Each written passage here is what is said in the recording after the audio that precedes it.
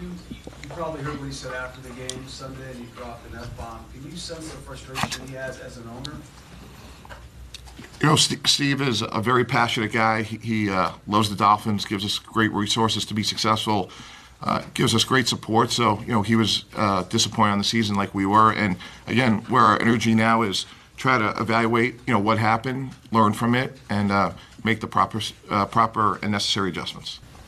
If, if Ryan had been healthy this year, how do you think the season would have played out? I'm pretty sure you already know my answer to this. I mean, hypothetical, it didn't happen.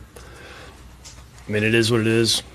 Just know we get him back next year. You know, we'll have a full slate with uh, the spring training camp, preseason. You know, there's there was nothing we could do once he got injured, and you know we made the adjustments we had to make, try to put together the season we were hoping to have. In, in, in light of how the season went, uh, was signing Jay Cutler the right decision? I think so. I mean, he was somebody that had been in this this system before. Thought that we could get our guys kind of moving in the same direction very quickly. You know, it didn't happen as fast as I was hoping, and there was a lot of good that you know he personally did. There was probably some games where we wish we could have done some different things.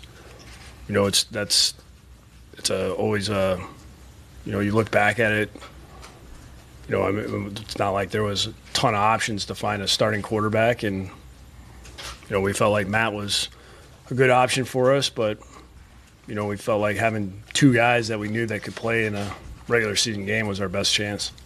Philosophically, is it off the table to draft a quarterback in the first round, or is it on the table? You know, you've been around me for a couple years now. We've said we'll always take the best player on our board. And I've talked from day one, you know, I, we talked about, you know, the J.J. Watt thing. If, you know, DN, we had Wake and whatever, but if J.J. Watt's on the draft board, we're picking, we're not going to pass J.J. Watt because we're, we're defensive end we feel good about. So all positions, I mean, again, we're evaluating everything. So every, every position doesn't matter. Quarterback, tackle, defensive tackle, uh, everything's wide open for us again, everyone, we're six and ten. You know, we got to get better. It's not, it's not, acceptable. We're all ultra competitive up here. I mean, you guys know Adam. You know, he'd kill his own dog if he had to to go to the Super Bowl. You know, so uh, I probably shouldn't have used that analogy, but Well, that's that's bad. but uh, but uh, I don't have a dog, so but at the end of the day, uh, we'll do whatever we feel is best for us. But we're happy with our young core. Adam, do you have a dog? no. That's why.